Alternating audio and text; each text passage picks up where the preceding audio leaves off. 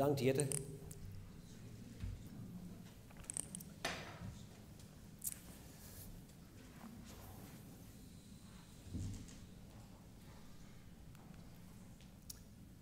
De laatste kerstavond. Ja, sorry. De laatste kerstavond.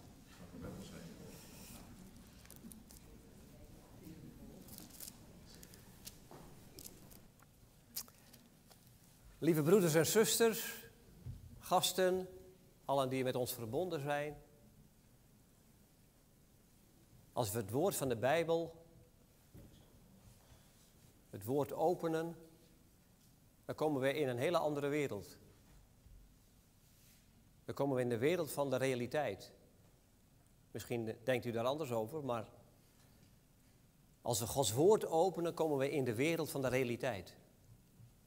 Dan komen we in Gods realiteit. Willen we weten in wat voor tijd wij leven? Wilt u iets weten over uw leven? Of wilt u alles weten over uw leven? Moet u de Bijbel openen. Want God laat ons zien, ook op deze dag, wat het leven betekent. Waar het heen gaat. Waar het eindigt. Hoe belangrijk uw leven is. Hoe erg de zonde is en de dood. Dat is de realiteit van Gods woord. Ik ben wel eens in kerken geweest. En had ik de indruk dat ik hun feestje verstoorde. Ik denk dat God het heel vaak heeft ervaren dat hij het feestje verstoort van deze wereld. Met zijn boodschap. Omdat mensen zo graag op een andere manier feest willen vieren. Zonder God, daar komen we uitgebreid op terug. Maar God heeft ook vanavond voor de wereld een geweldige boodschap. En u weet dat al lang. Alle gelovigen weten dat.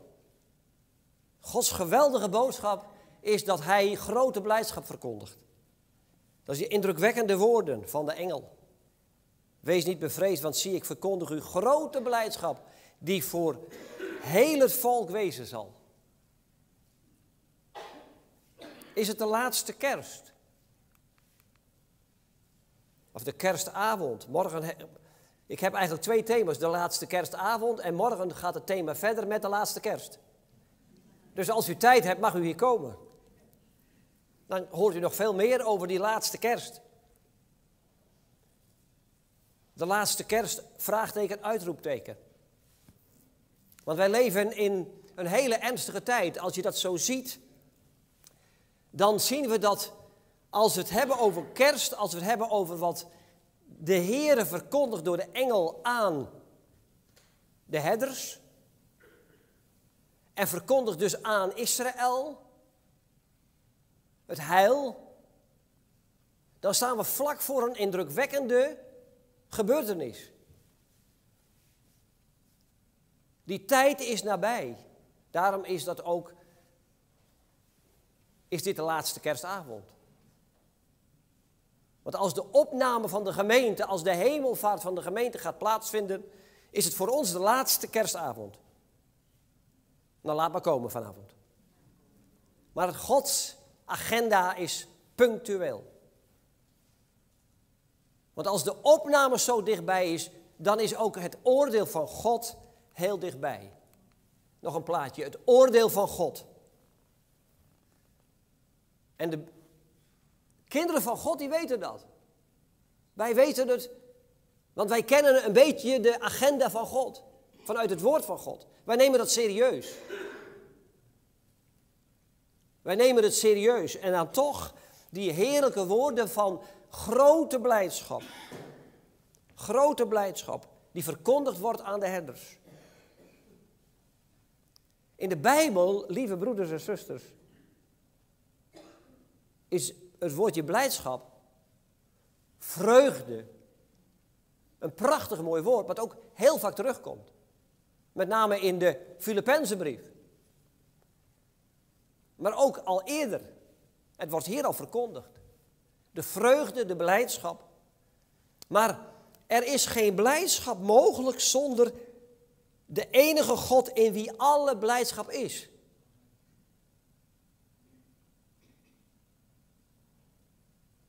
Er is geen vreugde, blijdschap mogelijk zonder de enige God in wie alle blijdschap is. God heeft blijdschap uitgevonden.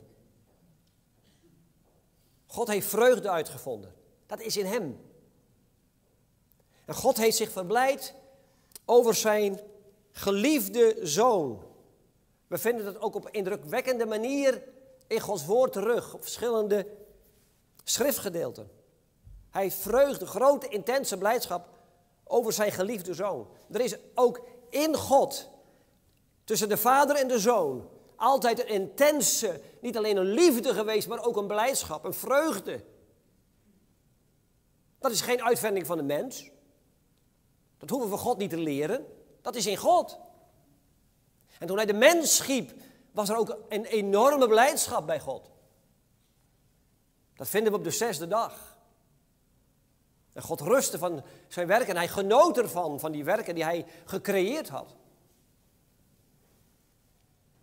En het is niet zomaar een blijdschap, het is een ware, onwrikbare en eeuwige blijdschap. Is in Hem en bij hen die Hem kennen.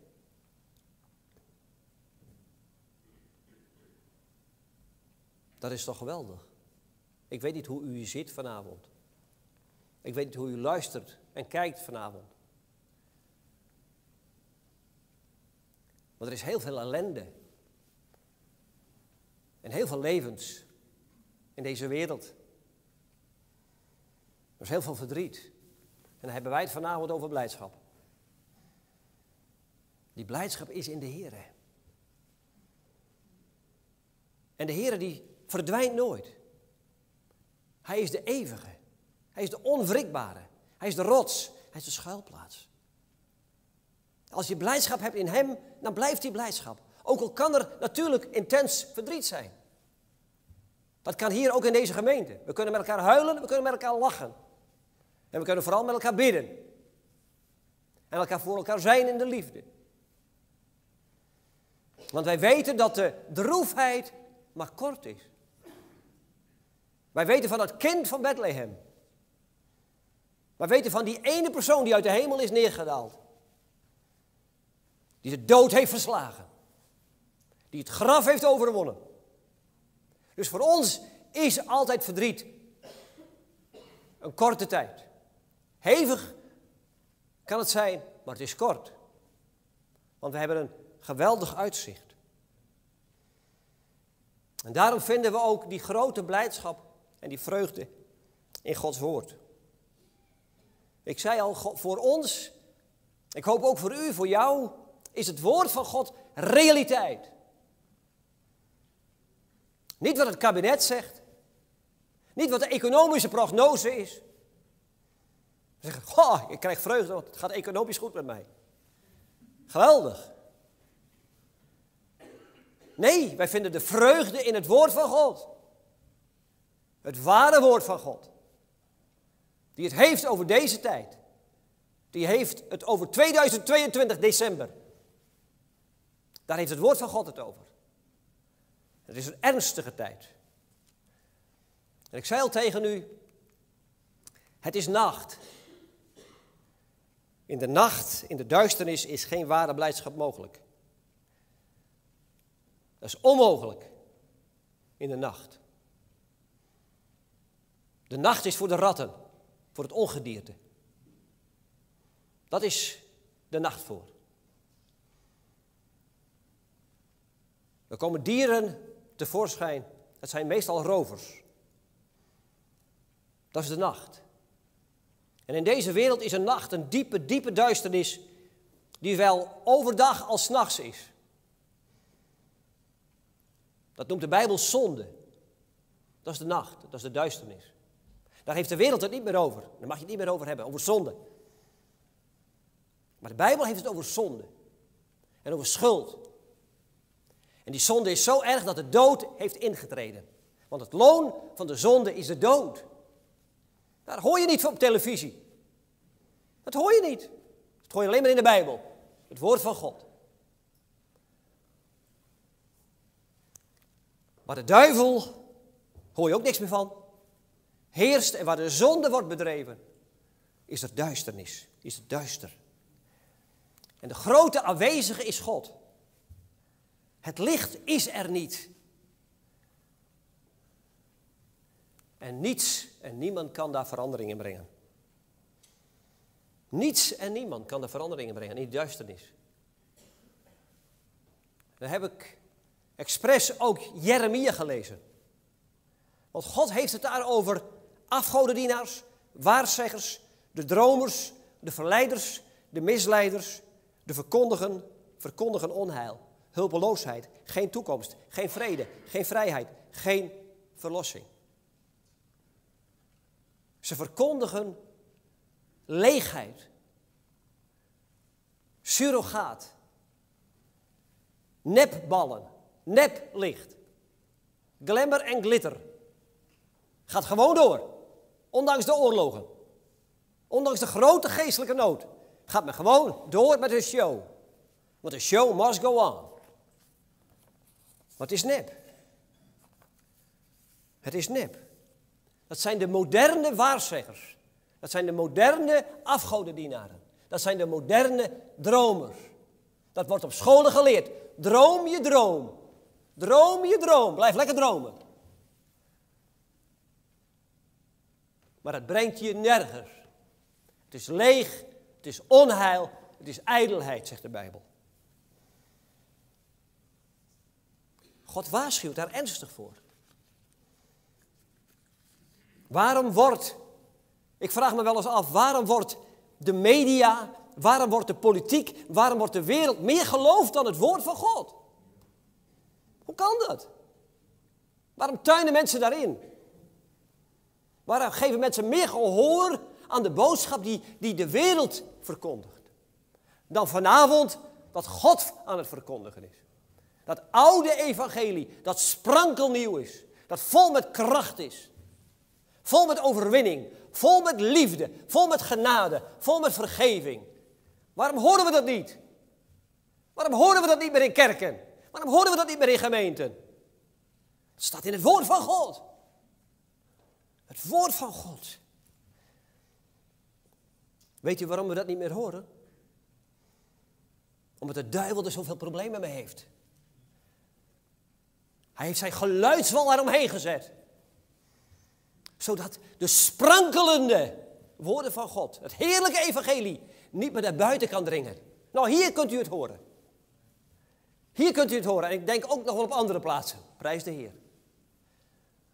Maar die geluidswal, die isolatie, Gods stem moet niet meer gehoord worden. Waarom maakt de wereld zich zo druk over het woord van God? Waarom moet het woord van God van, uit de, uit de scholen vandaan. Waarom? En uit de politiek. Waarom moet dat? Omdat mensen niet gered moeten worden. Daarom. De waarzeggers moeten aan het woord. De dromers moeten aan het woord. De afgodendieners moeten aan het woord. Waarom moeten de fundamentalisten niet meer aan het woord? Die het woord van God geloven en verkondigen. Waarom? Waarom mogen de mensen niet aan het woord die het over de zonde hebben? Omdat de duivel niet wil dat mensen gered worden voor tijd en eeuwigheid. De duivel wil mensen in de duisternis houden, in de leugen. Daarom. Dat u gebukt gaat onder de zonde. Dat u nog eeuwig geniet in december van alle feestjes. Weet u hoeveel zelfmoorden er in de volgende maand gepleegd worden? Als de lichtjes allemaal verdwenen zijn. Als u God kent, als u de Heer Jezus kent, gebeurt dat niet. hij geeft u hoop. Hij verlost u. Hij maakt alle banden los. Hij gaat u redden. Hij brengt beleidschap in uw kostbaar leven. Mag niet gehoord worden. Mag niet gehoord worden. U bent niet kostbaar. Als het niet uitkomt, weg met het kind. Als het niet uitkomt, weg met de ouder. U bent niet kostbaar. U bent een last. U kost geld. De ouderen kosten geld. Dat moet ons ingepeperd worden. Kinderen komen niet uit. weg. Het is maar materie. Stelt niks voor. Een leugen is het. Grote leugen is het. Kijk maar eens naar Psalm 139. Kijk maar eens naar het woord van God over de ouderen. Hoe kostbaar die zijn in de ogen van God. Oh, dat evangelie is zo geweldig. Gods waarheid is zo heerlijk. Het is zo bevrijdend.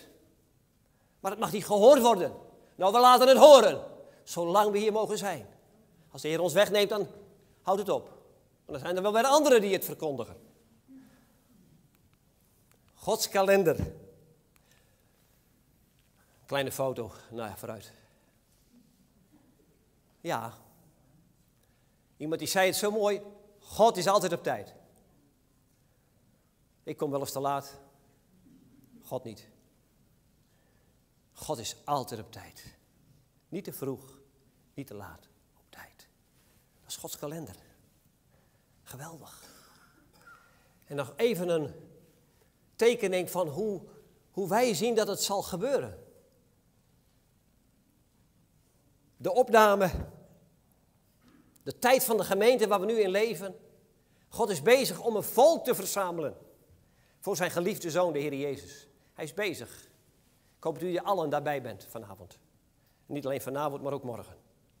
Als u gelooft in de Heer Jezus, hoort u bij het volk van God. Het volk van God dat God uit alle volken haalt. Jood en Griek. Alle soorten mensen, maakt niet uit. Die tot geloof komen in de Heer Jezus, horen bij dat volk. Daar is God mee bezig. Met zijn gemeente. En God die is bezig. Snel is hij bezig. Haastig is hij bezig. En het heil dat God verkondigt, ook vanavond, heeft God al eeuwenlang verkondigd. Eeuwenlang. Hij heeft het aan Adam en Eva verkondigd. Hij heeft het aan Abraham verkondigd. Er zijn nog veel meer mensen die het mochten horen. Mozes, ik noem een aantal voorbeelden. David, zijn profeten. En nu Zacharias, Elisabeth, Jozef en Maria. En zoals we vanavond hebben gehoord, de herders, maar ook de wijzen. Simeon, Anna, de evangelisten, de apostelen. Aha, God heeft het heil verkondigd door zoveel mensen, zoveel getuigen. Dat het heil zou komen. Grote blijdschap, zegt de Bijbel. Grote blijdschap aan heel Israël. Er staat namelijk dat heden voor u geboren is de zaligmaker in de stad van David. Hij is Christus de Heere.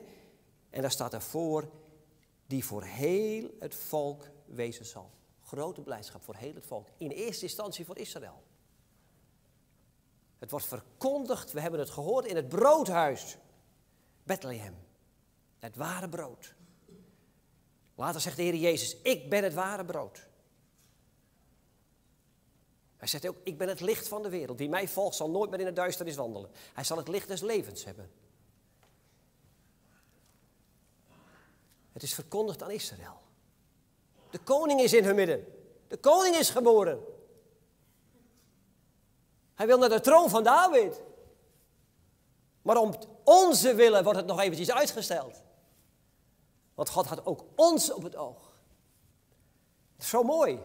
Het is niet alleen Israël, het is niet alleen het hele volk, maar het is ook ons. We zien het al in de wijzen, aan iedereen, aan ieder aan de heidenen. En weet u wat zo mooi is? Het wordt verkondigd in de nacht. Dat is ook een beeld, denk ik. Een beeld van, van de duisternis van deze wereld. In de nacht. Het zal niet op ditzelfde tijdstap in de winter zijn geweest, maakt, maakt niet uit. Het is in de nacht. Het licht is geboren op deze aarde, vol van duisternis. En het is verkondigd aan ook de herders. En dan denk ik aan de woorden van Maria, die een profetie uitsprak. Dat aan de armen werd het verkondigd, de eenvoudigen. En de hoogmoedigen worden van een troon gestoten. Dat is ook een profetie, gaat gebeuren. Gaat gebeuren. Al deze eenvoudige mensen, die op hun knieën zijn gegaan, ooit een keer voor de Heer Jezus. Die hun hele hebben en houden hebben uitgeleverd aan het lam van God. Gaat God verhogen. gaat God verhogen. Hij gaat u verhogen. We moeten onszelf nooit verhogen, want ons alleen maar kleiner worden hier aarde. En als we ons buigen voor de Heer Jezus, gaat Hij ons straks verhogen. Wie hier gehoorzaam wil zijn, wie hier zich wil vernederen, wordt bij de Heer straks verhoogd. Laat de mensen maar zeggen wat ze willen over ons. Laat de mensen maar zeggen over u wat ze willen. Maar als u zich wilt vernederen, Hem wilt dienen in deze wereld, Hem wilt volgen, gaat Hij u verhogen. Ach, prachtig. Maria wist dat. Maria sprak erover. En de herders ook. Ja. God, Gods antwoord op het falen van de mens. Dat is een voortreffelijk antwoord, weet u dat? Als u dat gaat zien. Gods zalig maken de Christus, de Heere, geboren in Bethlehem. Dat is Gods antwoord.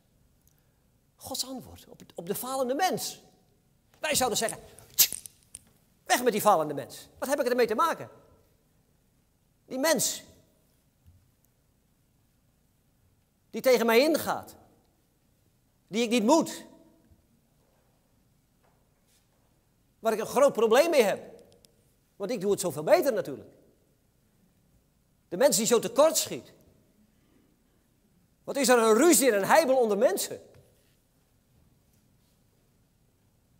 Heel dichtbij en veraf. Wij zouden zeggen, wegwezen. Wat doet God? Dit doet God. God zoekt de falende mens op. God die vernedert zichzelf voor die falende mens die hem niet zoekt. God die zegt, door middel van de engel, ik verkondig grote blijdschap. God zegt tegen Jeremia, ik wil dat je verkondigt wat in mijn gedachten is. Ik wil dat je verkondigt wat in mijn gedachten is. Ik koester gedachten.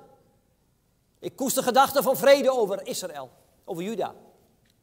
Ik, ik, ik koester gedachten over hen. Ik heb hoop, een hoopvolle toekomst voor hun gereed liggen. Voor Israël. Voor Israël. Die zo is afgeweken van God. Die zo de afgoden heeft nagelopen. God zegt, ik koester hoge gedachten over jullie. Is toch niet te bevatten? Dat is onze God. Dat is genade. Hij zocht ons op. Hij zoekt ons op. Hij zoekt Israël op. Hij gaat een geweldige toekomst met Israël. Gaat hij klaarmaken. Zitten we vlak voor. Het duurt nog even. Toen was het ballingschap. Het gaat nog even duren. De gemeente wordt opgenomen. Er komt een grote verdrukking. Dat duurt even. Dat is een ernstige tijd. Maar God heeft die hoopvolle toekomst voor hun gereed liggen. Het ligt allemaal klaar.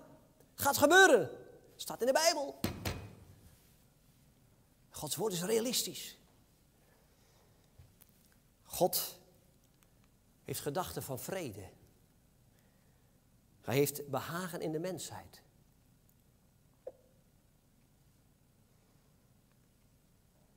Ervaart u dat ook zo? Als je om je heen kijkt, in de dorpen en in de steden, dat mensen allemaal zo blij met je zijn. Geweldig, dat je wel om, omhelzen, iedereen. Hebt u dat ook zo in uw dorp en in de steden en de straten en de familie? Oh, ben ik blij met je, heerlijk. Hebt u dat ook? Je kunt bijna niet uit je huis uitkomen of ze staan alweer klaar. He? Hebt u dat ook? Merkt u dat ook, die, die heerlijke liefde in deze wereld? Bij je medescholieren, bij je collega's, ah, ben ik blij met je? Ik heb alles voor je over. Ik hou van je. Bel me vannacht, ik doe alles voor je. Heb je geldgebrek? Geef het.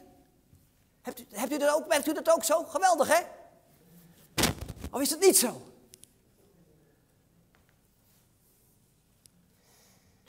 Klopt niet helemaal met de realiteit, inderdaad. Maar God is zo anders. God is zo anders.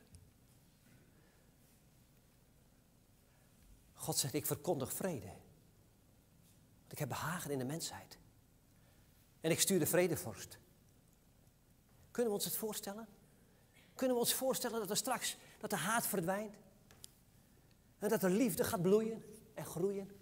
Kunnen we dat voorstellen? Dat gaat gebeuren. Dat gaat gebeuren.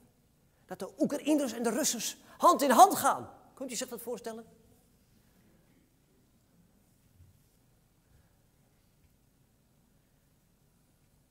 Dat de honger in Afrika, waar miljoenen kinderen op de rand van sterven staan, dat dat allemaal gaat veranderen. Dat wij in het Westen er geen geld voor over hebben om die mensen te redden, maar wel geld hebben voor wapens. Miljarden, miljarden, miljarden om iemand dood te maken. Daar zijn we zo goed in. Wat een liefde, hè? Wat een geweldig. En onze handen zijn gebonden, we kunnen niets. Daar gaat ons belastinggeld naartoe. Waar zijn de politieke leiders die op de knieën gaan en zich verootmoedigen voor de levende God? Niet alleen met kerst, maar ook morgen en overmorgen en overmorgen. En het bij de Heer gaan zoeken. Zeggen, Heer, geef ons wijsheid. We hebben u nodig. We hebben u nodig. We hebben ons eigen feestje gevierd. We maken er een puinhoop van. Kijk eens hoe de samenleving uit elkaar valt. Kijk eens hoe we met de techniek bezig zijn. Hoe we bezig zijn met de totale controle. Daar zijn we mee bezig. Investeren, investeren. Maar niet met de uniekheid van de kostbare mensenlevens. Met de zielen. Met de zielen van mensen. Zijn ze niet mee bezig. Interesseert hun niet. Moeten ze eerst veranderd worden. Moet eerst het hart veranderen. Dat stenen hart, zegt de Bijbel. Dat stenen hart moet eruit. Weet u het nog? Toen God uw stenen hart uit uw lichaam trok en zijn eigen hart als het ware daarin zette. Weet u het nog? Weet u het nog toen u wederom geboren werd? Kunt u het nog? Ik zou zeggen, geef een getuigenis, maar dan wordt het wat lang misschien. Weet u dat nog, toen u totaal veranderde? Toen uw hart veranderde? Toen u vol werd van de liefde van God? Weet u het nog? Toen u liefde kreeg voor de Heer Jezus? En zei, Heer, ik wil u volgen. Weet u het nog? Toen wilde u iedereen wel omhelzen, of niet? Toen wilde u het aan iedereen wel vertellen, of niet?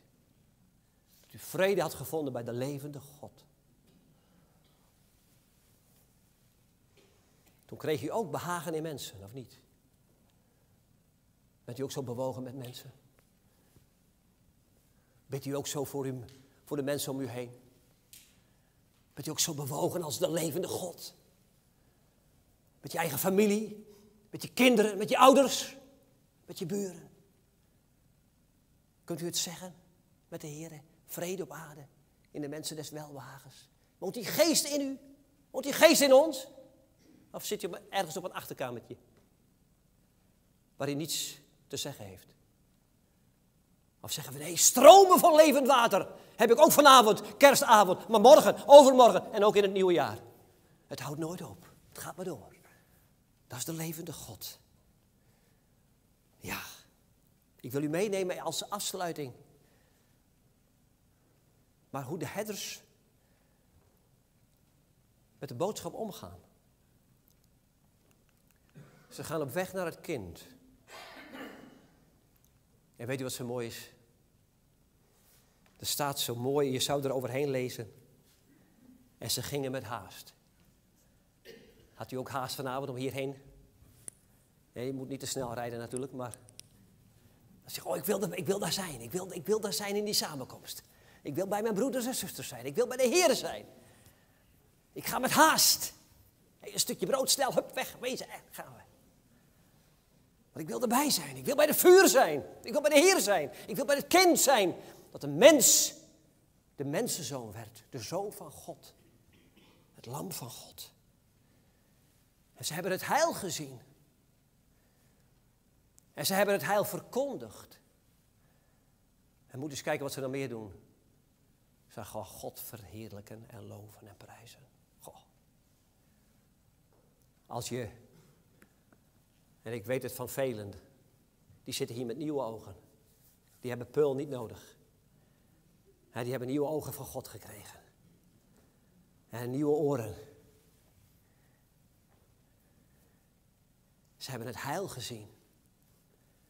Ze hebben de Heer Jezus gezien, het heil. Net zoals bij de herders. En ze zijn onder de indruk. Ze zijn onder de indruk. En wat doen ze dan als je onder de indruk bent? Dan ga je verkondigen. Kun je niet stilhouden. Ik, ik heb nu toch wat meegemaakt. Ik heb nu toch wat meegemaakt. Dat heeft mijn leven totaal veranderd. Oh ja, ja. Ik heb Jezus ontmoet. Ik heb Jezus ontmoet. Ik heb het lang verwachte heil ontmoet in mijn leven. Hij heeft mijn leven radicaal veranderd. Hij heeft mijn hand hart veranderd. Hij heeft mijn mond veranderd. Hij heeft mijn ogen veranderd. Hij heeft mijn oren veranderd. Hij, hij heeft mijn hele leven veranderd. Ze gingen verkondigen. Oh, we kunnen nog wat, we kunnen nog wat verwachten vanavond en vannacht. Er gaat wat gebeuren, of niet? We gaan het, het heil verkondigen. We gaan vertellen het blijde nieuws. Grote blijdschap is ons ten deel gevallen. Ik vond het zo mooi, ik las het ergens in een boek, als slot. De laatste kerstavond. Ik begon een beetje triest. Ik, ik eindig ook weer een beetje triest. Of toch niet? Nee toch? Als het de laatste kerstavond is, het zij zo toch? Wij weten waar we naartoe gaan. Wat doen wij als we nog één dag zouden leven? Olieballen opeten? Als u nog één dag zou leven, wat zou u dan doen? Wat zou u doen? Uw favoriete televisieprogramma kijken? Nog één keer een voetbalwedstrijd, zou u dat doen? Als u nog één dag zou leven? Zou u proberen nog één dag heel rijk willen worden? Zou u dat doen?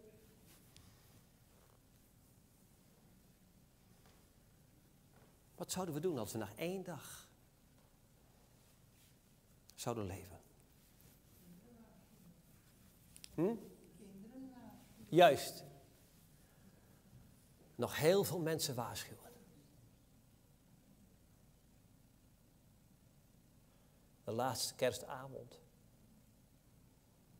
Vraagteken, uitroepteken. We kunnen bij de deuren langs gaan in Alkmaar. Of in uw eigen straat. Het gaat vanavond gebeuren. Zouden mensen ervoor openstaan, denkt u? Je weet het niet, hè? Maar de geschiedenis leert van niet. Maar op een of andere manier, als je nog één dag zou leven, dan krijgt ineens wat prioriteit had in uw leven. Dan wordt ineens bijzaak. Misschien ga je het nog goed maken met je ouders. En misschien gaan de ouders het goed maken met hun kinderen. Misschien gaan ze nog intens elkaar een knuffel geven. En zeggen heel vaak, ik hou van je. Ik hou ontzettend van je. Wil je me vergeven, alles wat ik je misdaan heb? Want dat is nogal wat geweest. Ineens krijgen bijzaken, dat, dat, wat altijd bijzaak was, misschien wel hoofdzaak. Je wil dingen goed maken. Je wil dingen nog één keer vertellen. En misschien wel, misschien wel de liefde. De liefde van de Heer. Nog één dag. De herders gingen op weg. En ze loofden en prijsden God. Ze wisten bij wie ze moesten zijn.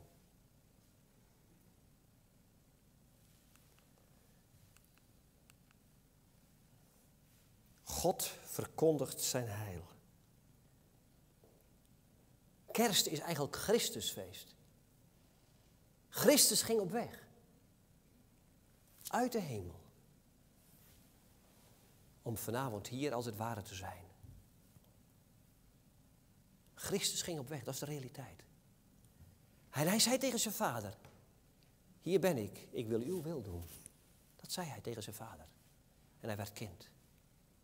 Hij werd gevormd in de baarmoeder van Maria door de Heilige Geest.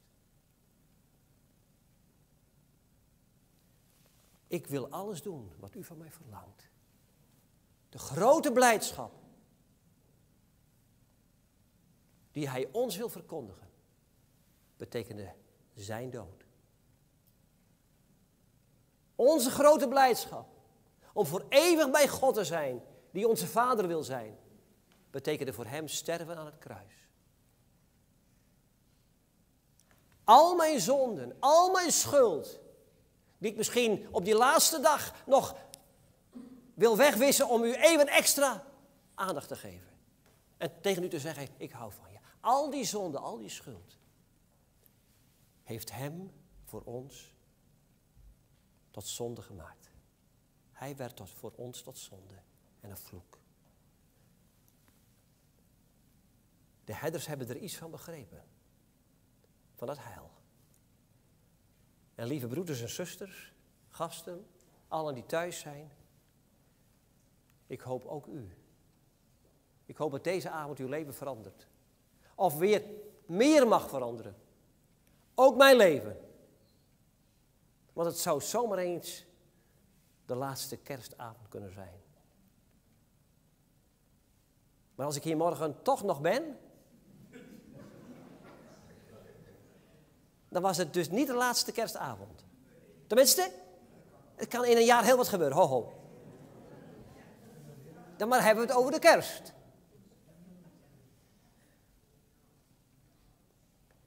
Maar als deze avond ons, zoals we hier mogen zitten,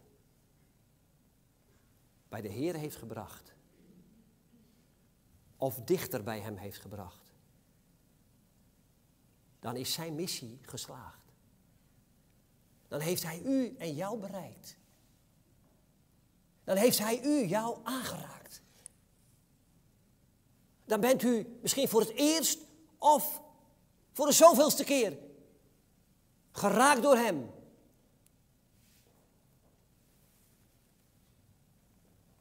En mag u hetzelfde meemaken als de herders. Ze gingen hun weg. En ze prezen God en ze loofden Hem. Ik hoop dat u dat ook doet en jij ook. Dat je vanavond als je thuis komt, je knieën buigt voor de Heer en zegt, Heer, ik wil u prijzen, ik wil u danken. Dat ik bij u mag horen. En dat u ook voor mij de hemel hebt verlaten. Om mij voor eeuwig te redden. Grote blijdschap is er alleen als je de Heer Jezus leert kennen. En die blijdschap houdt nooit meer op. Amen.